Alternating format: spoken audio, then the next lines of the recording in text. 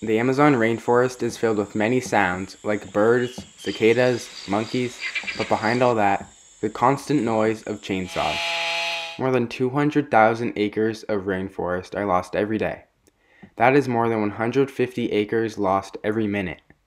The human impact, such as deforestation, habitat loss, and poaching, are detrimental for the Amazon rainforest and soon will be irreversible. Species are becoming extinct 100 times faster than they would without human impact.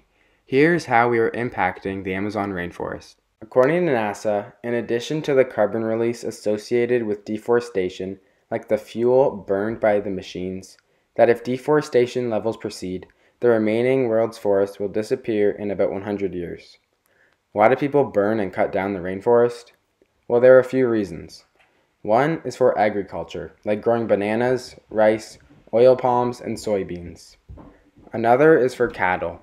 This was one of the causes of the most recent forest fires in 2019 that destroyed over 7,200 square miles. That's roughly the size of New Jersey. Lastly, they log and cut down trees for timber and paper, which is a whole other impact we have on climate change.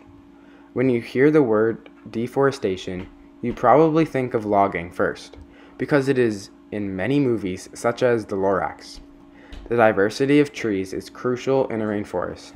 In just a small area, there could be up to 700 different kinds of trees, as many as there are in the whole North America. But this is what we've been turning it into.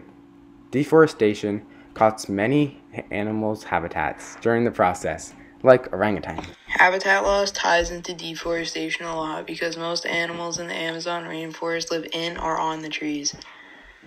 Habitat loss has been happening for a while now, but it really started to increase from 1991 to 2003 and has been on a slight decline ever since. But since 2015, it's been on an increase again. Big cattle ranch companies are the ones cutting down the trees and not replanting them.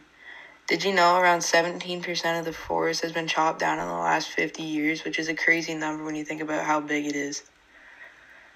Jaguars are the only one of the many animals that are affected by not getting the prey they need due to deforestation. It's like a chain reaction. The toucan is another animal that is greatly affected by deforestation. It destroys their natural habitat up in the high canopy, and they also get killed by falling trees due to their lack of flying skills. Spider monkeys are also affected by deforestation because that is where they live. They also get poached for meat, which is used for the illegal pet trade. Also critically endangered, the Peruvian woolly monkey is heavily hunted and infants are often favored as pets. This means that they are very wary of people and difficult to track. Limited research has shown a change in the composition of this monkey's diet over time. Previous research had shown that in primary forests, their diet would consist of 80% fruit, whereas in regenerating forests, it would be 50% fruit with a greater amount of leaves and invertebrates. I don't agree how they cut down trees for the sole purpose of money and not replanting them. Animals aren't the only ones losing their habitats, they are also getting poached, which leads us into our next point. Every day, multiple groups of illegal poachers set out to kill jaguars, monkeys, otters, caiman, and more to be turned into coats, hats, or accessories. This is not a recent activity. Since the early 1900s, animals have been killed for their hides. Parrots, macaws, and monkeys have also become popular pets. Buyers will pay up to 10 grand for one bird. Thousands of other North American birds spend their winters in rainforests, returning to the same location year after year. Less return home each spring, as few make it through the winter because their habitat has been destroyed. As stated in the documentary A Life on Our Planet by David Attenborough, orangutans are an easy target for hunters because they're large and slow targets. They are killed for food or in retaliation when they move into agricultural areas and destroy crops, which occurs when they can't find the food they need in the forest. Amazonia jaguar, giant otter, and Uakari monkey are three of the most endangered species in the Amazon and all three are coincidentally some of the most hunted animals.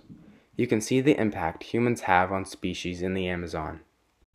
We could put deforestation, habitat loss, and poaching to an end, or at least slow them down if we do some simple things. If we cut down 100 trees and planted 135 trees, or even 150 trees, then it would balance out. This would stop deforestation and help with habitat loss. And we could also stop poaching endangered animals and animals who aren't endangered for their pelt and meat. These are just some ways to put this to an end, but there are tons of ways to put an end to these problems and save the trees and animals. But these are just a few easy ones.